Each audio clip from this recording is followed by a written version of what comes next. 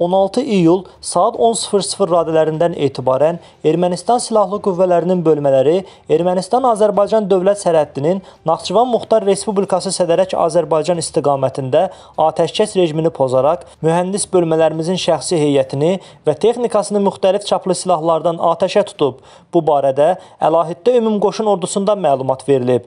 Bölmələrimizin şəxsi heyəti və texnikasında itki və zərər çəkən yoxdur. Düşmən cavab atəşi ilə susdurulub.